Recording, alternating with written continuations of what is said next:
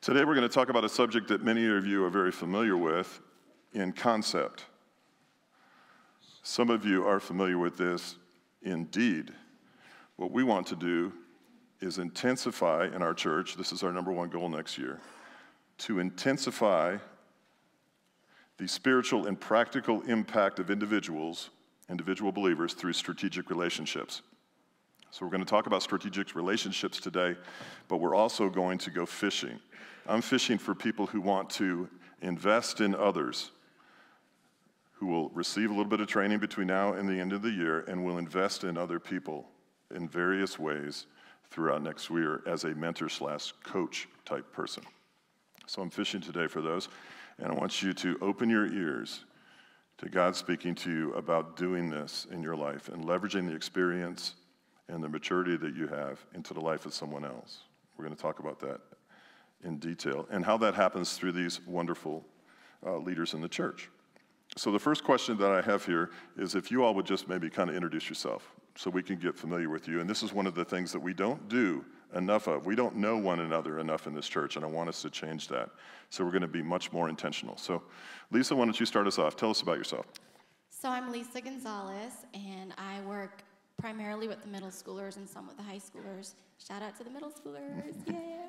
Um, and I am married to Michael Gonzalez, uh, and we have two beautiful kids, Jacob and Zoe.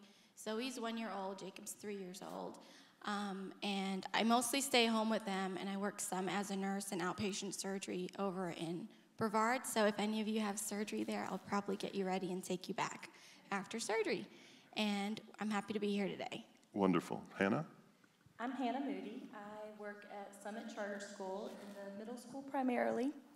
I coach the girls basketball team there. I have an eight year old boy who you will find after church a lot of times in the trees out front here, um, climbing high above, and he almost always has stains on his pants. Um, okay, and you're working on a doctorate. Oh, and I am working on my doctorate. Oh, degree, what is yes. that exactly? What, what's your field of study? Um, I am getting my doctorate in curriculum and instruction, and I'm writing a dissertation on place based education. Wow, cool. Jerry? Uh, I'm Jerry Blackburn, and my wife Mary and my daughter Sarah Dancy are out on a college tour right now. So my one visit to adult church, I wish they had been here to see. I'm typically over in uh, tech services and helping with the youth, youth groups next door, 99.9% of the time. And I, my wife Mary, of course, is Wendy Lupus's sister, and they've got Grace Ware, who was what brought us up here about six years ago, and three beautiful children. Sarah Dancy is 17 and looking to go off to college soon, and Mo, right here with my middle schoolers, is 11, and Wade is somewhere in here beyond the lights, um, and he is our 14 year old. I can't believe you put a plug in. That was awesome the way you worked that in. That's good. Graceware plug. That's good. Good for you. Black Friday. I didn't see that coming. I guess that's what happens when you don't warn people before the service about that.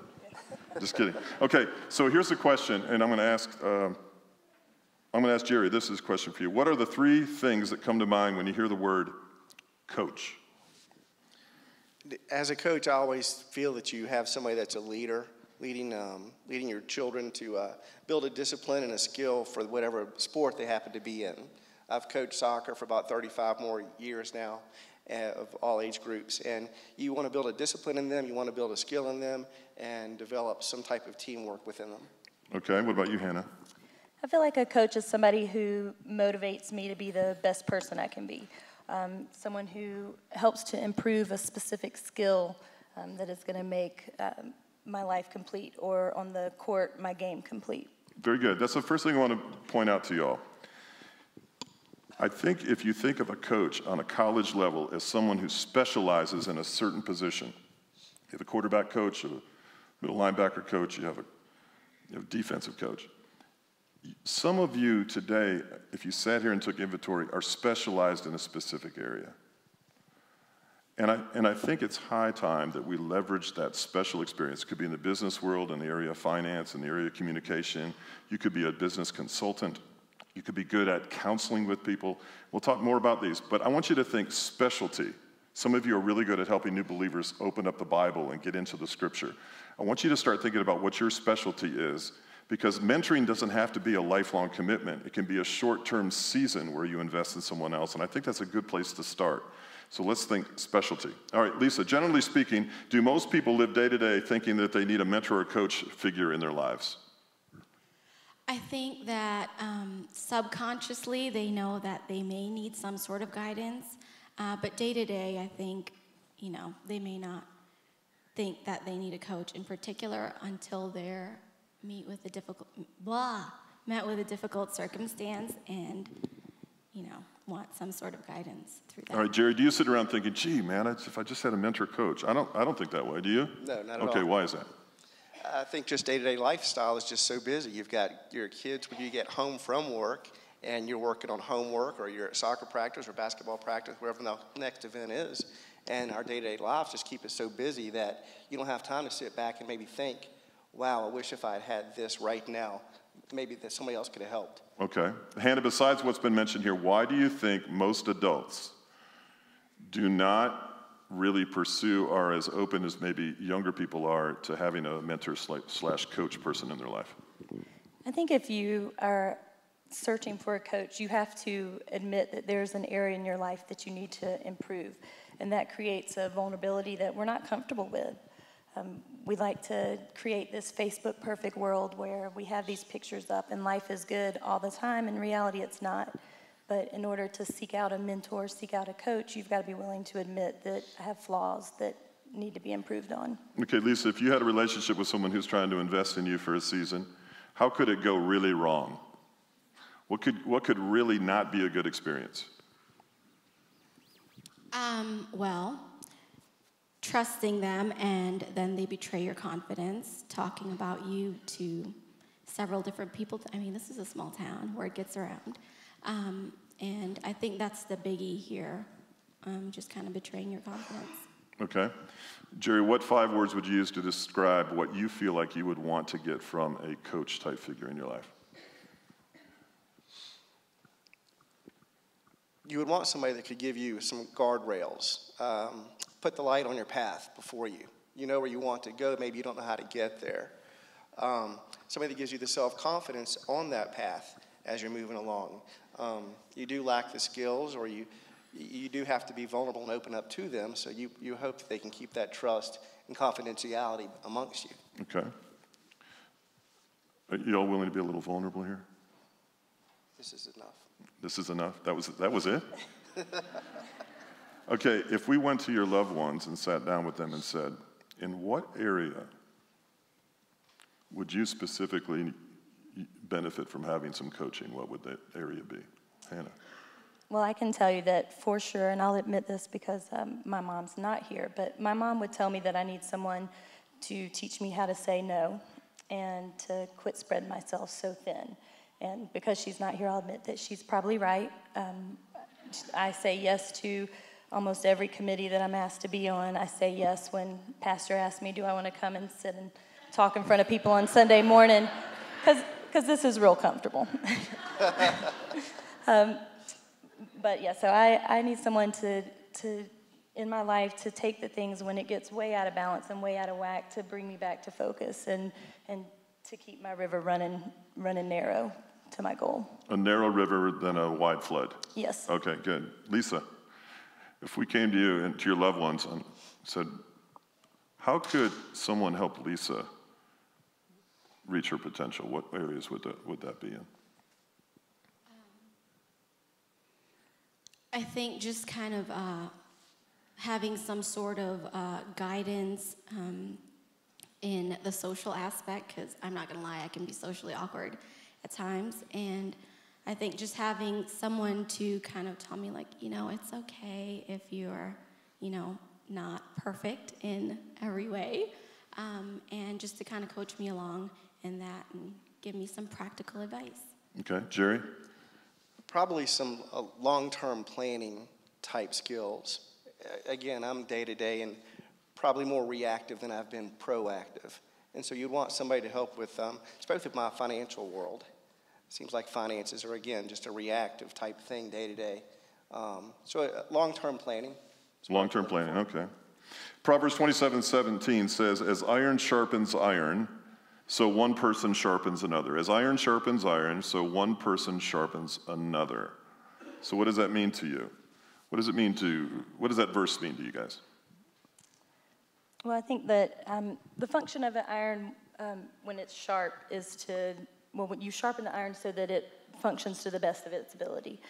Um, so you use another piece of iron to do that. As we need people to hold ourselves accountable so that we can function to the best of our ability. Okay, so what if you didn't have another person sharpening you? What would you end up being? What, how would we describe you? Or anyone without a sharpening tool, what would we describe that person as being? You had become dulled. Dulled, dulled, and not shiny, not reflective, not changing, static, not being molded, not being shaped, not being reflective of anything, and really not fulfilling your purpose, which is to be sharp, right? Okay. In what area could you stand become sharper with the help of mentor coach? Okay, so sh- short, long term goals, balance. I didn't know that you really needed any help. You, you like you, to me, you're like just like you got it going on. But Yeah. all right, what happens when a person is receiving to an extent that they just become a sponge and they're not giving back out? What does that look like to y'all? Well, I can speak to that on a personal level. Um, this uh, fall has been one of the most stressful falls of my life. Um, I constantly stay busy. I have a very active eight year old son. Um, I teach. I am working on my doctorate. And then I decided to add some other things to my overwhelming life list. And I'm in the middle of buying my first home. And I was able to keep all of that pretty much on target. And then um, we found out in August that my son's father has cancer. And that really, um, he lives up on the mountain as well, but he doesn't have a lot of support. So I then became his main support system.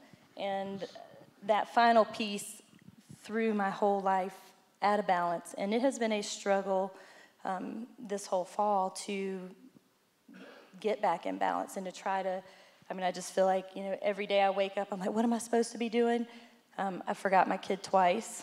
Don't, don't tell him, he doesn't know. started to leave for our first basketball game and realized I uh, forgot my kid. So, um, but that's what happens when you get out of balance and that your focus is everywhere and not centered on one particular thing. My wife and I were at Ingles one day, and we were coming out of Ingles, and we were talking. We got in the car, and uh, we went to go home, and we pulled in the driveway and realized that Abigail was at Ingles. I'm glad I'm not the So- only one who does that.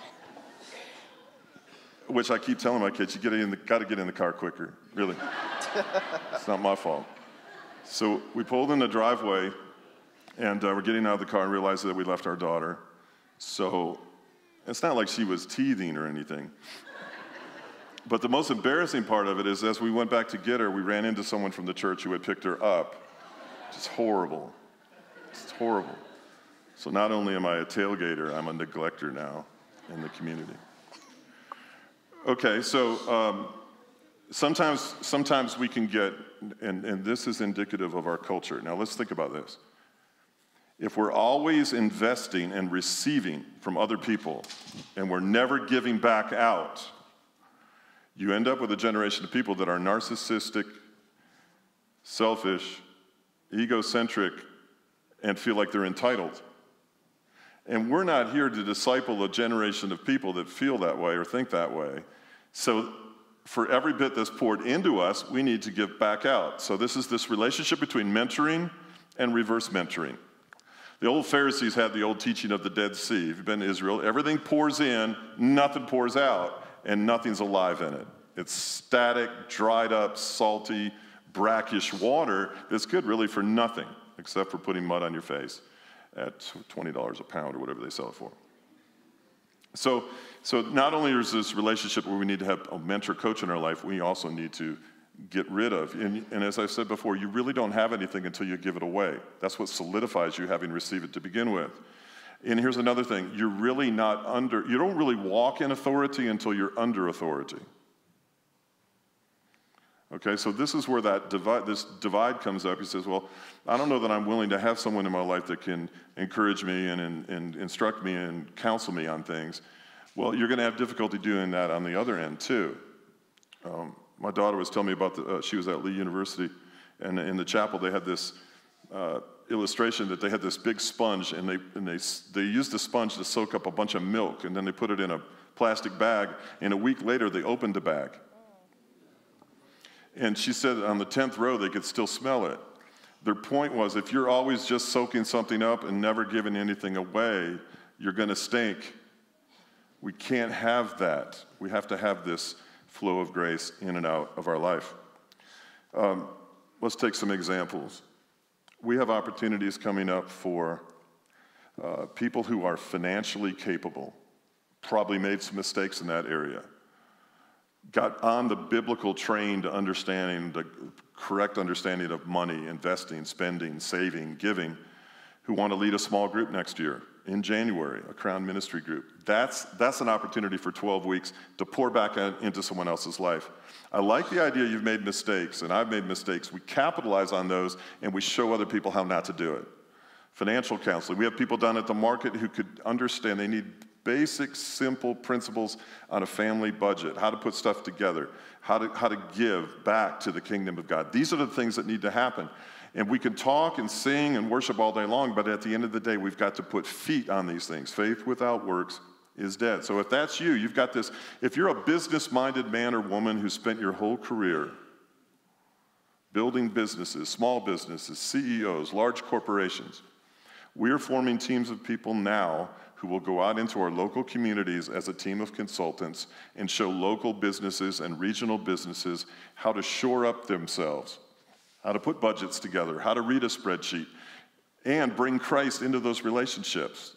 We also have an international team that's going to do that in other nations where businesses are being planted to further the kingdom of God with the revenue. Those are the type of things. If you have a, if that's your bailiwick and that's your that's your thing, you've got a place here to serve. If you're struggling financially, and every time we take the offering, you got this grimace on your face like, I have nothing to give.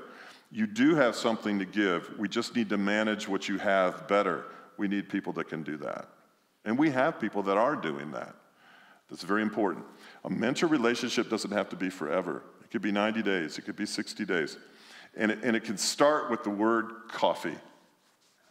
When I solicit your information today on those who are willing to specialize in a specific area, it's nothing more than starting a conversation with someone else in the church over a cup of coffee to see if it's a good fit, to see what kind of time you want to invest, to see if it's going to be something that you want to pursue.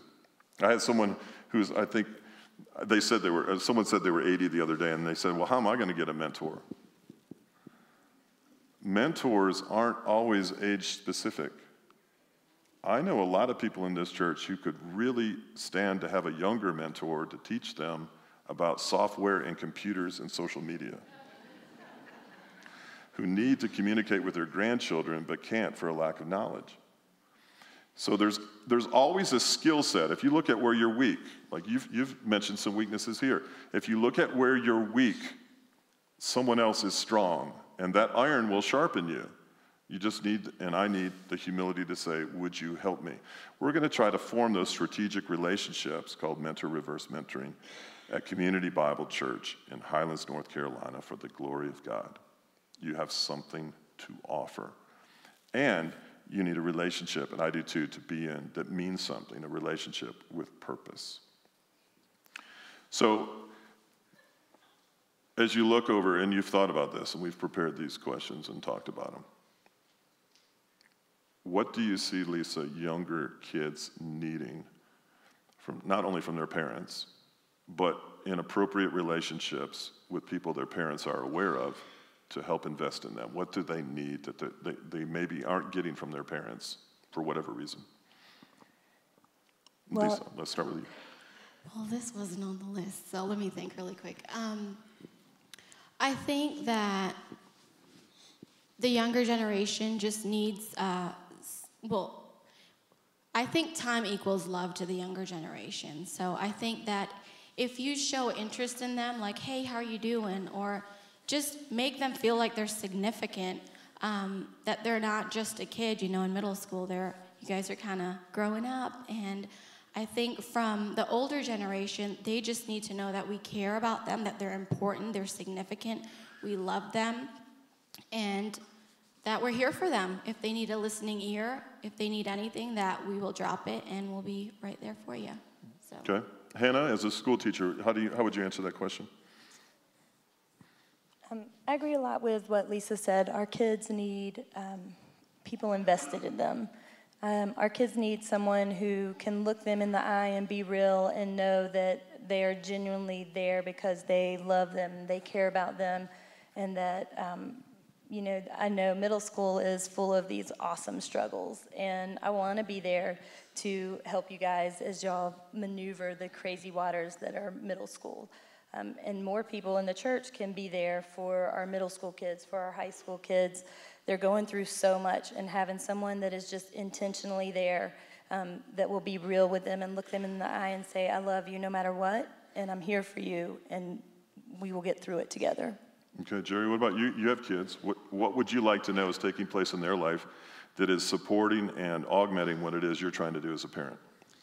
I think a lot of it is that uh, it takes somebody that can listen to their needs. We can all tell the children what they need, or as a parent, or as an educator, or a coach, you can be caught on one line of thought trying to talk to and teach to. But sometimes you need to sit back and listen to their reaction, their interaction, and see what it is they're really wanting. What is it that they, they really need? Excellent. All right, let's pull this handout out and we'll wrap this thing up. List three areas of strength you can pass on to someone. So you, you got to in Galatians the other day in the men's group, we were looking at this thing. It's okay to have pride in yourself. There is a right kind of pride to have in yourself, and you really have to acknowledge hey, listen, what is it that I have to offer that other people would really benefit from? I want you to write that down. I want you to think about that. What do I have to offer? You could be um, a really good biblical teacher. I don't care if you make flower arrangements and you're really good at it. It doesn't really matter. But what is it that you're really strong in that you have to offer that will build up someone else in the process as you instruct them and help them in that area. You might have some counseling background, teaching background. You may want to facilitate a small group. We want to go from 19 to 34 groups next year. We're going to need people to do that. Okay? You're a facilitator, a networker, you're career counselor. I don't know what you've been doing in parts of your life. You've run a small business. I want you to write that down. What is it you're really good at? And then in their book, Connecting Paul Stanley and Robert Clinton outlines seven different kinds of mentoring roles to help us properly match you with someone. Please circle one or two of these roles of which you feel you are best suited. One is a director type person. Personal career direction, accountability, insight for maturation. If you know how to help somebody, or you want to further what you know about help somebody identify calling, vocation, uh, that's important. A consultant, it's a mentor on call, it's what kind of decisions are made to help weigh, who knows you well enough to say, are you making the right decision? We're not trying to match people up with others who are going to make decisions for you. That's not what this is about. To help you understand and weigh out what is good, sound decision making in your life. And I know a lot of people that are paralyzed by making decisions. And they come into the office and say, Will you tell me what I need to do? And the answer is no, this is your life. You need to make that decision, but let's weigh it out appropriately. That's a consultant type person. A coach type person who will help you in crisis, navigate illness, grief counseling, people who have, what have you been through? What testimony? What horrible season of life have you made it through? What illness have you overcome? Uh, for instance, we, have, we just had someone in the church lost a child 20 plus year old child to a motorcycle accident. And then we have another couple in the church who also lost a son at the very similar age. Those two people need to be together.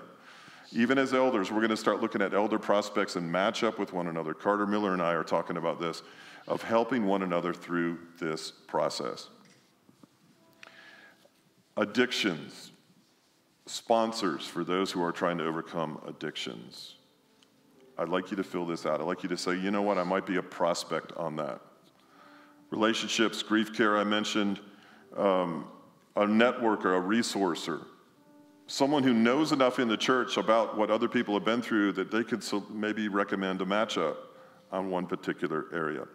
I'd love for you to fill out your name and email so that we can be in touch with you. And we're going to actually send you an application, sort of do a vetting process to make sure you're at a right season of life to do this with someone else give you a little bit of training, and as we get into next year, put you to work. put you to work helping that other woman. Have a cup of coffee. I want to see people having coffee all over the mountain, just talking about what did you learn about your business. I did this the other day. I matched two people up, and I knew that they could probably at least cry in each other's coffee or, or help one another somehow. I don't know what. But this is important. We want to intensify the spiritual and practical impact of believers through strategic relationships. Can I say something really quick? Please, yes. Um, a lot of times I think we feel like we need to have it all together before we start mentoring or giving, but we don't have to have it all together. I think that just makes us more relatable to whoever we're mentoring. Um, and a little while back, I was just not pouring out, and I felt stagnant and complacent and just in a place of compromise. I just, I hated it, you know, when you're not being challenged. And um, I thought in my mind I had to have it all together to, before I started giving back. And I was like, you know, I'm just going to take a leap of faith here and just start pouring out. And the more I started pouring out, I felt like God was even filling me up even more. And we're not, like, God created us to give. We're created in His image, and He's a giver. He gives everything, He gave His Son. And so, give, you know, just take that leap. If you're struggling in your mind um, in a certain area, just take that leap and, and give of yourself because you're going to grow, and the person that you're mentoring is going to grow. Um, anyway, yeah. So we were talking the, the other day, we had a meeting, we were talking about, I said, Lisa, in what area could you maybe use some help? She says, really communicating to others. it's like, okay, whatever. if you have that piece of paper and you say, I'm not ready to invest in someone else just yet, many opportunities will present themselves in the very near future for you to identify an area where you would need some help. Well, go ahead and write that down on the piece of paper. I could really use some help in this area. We'll begin this process of identifying with the staff of the church how we're going to make this one of our number one priorities in the church. So think about that. Not only today, but in the weeks ahead. Turn that in so we can contact you.